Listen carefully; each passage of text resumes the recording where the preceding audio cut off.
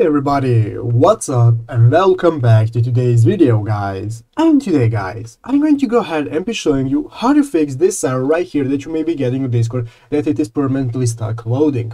This is a common error that a lot of people get, so I'm going to go through a couple necessary steps that you have to do to try and get rid of this error and fix it yourself. But yeah guys, make sure to watch this quick and easy video till the very end and follow my steps correctly, so you can make sure this works the same for you and that you can do this yourself. But yeah guys, let's get straight into it. The first thing you want to do guys, go ahead and open up the official Discord application and try logging into your account. If you are trying and you keep getting stuck on the server, then there are a couple of th things that you can try and do. The first thing, guys, is to make sure there isn't an update pending. So you want to do that by going right here to your taskbar and then right-clicking on the Discord application and click on check for updates. After clicking that, guys, it will check if you have any updates and you will want to try and go update your application. After it is updated, you want to go ahead and try logging in and if you're still, still stuck on this, then you can try a couple of other things. As you can see, when googling for the error, there are a couple of things that you can do.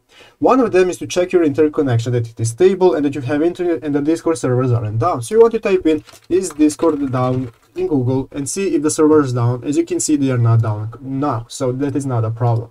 But guys, then what you can do is to try and run Discord as an administrator. So go ahead and exit out the application and find the application and right click on it and click on run as administrator and see will that help.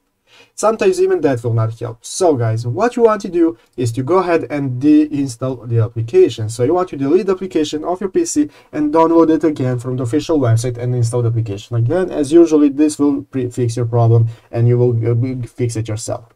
But yeah guys, basically those are the steps that you can try. So I hope this video was helpful. If it was, make sure to leave a like and subscribe to the channel. So guys, thank you for watching, take care and bye.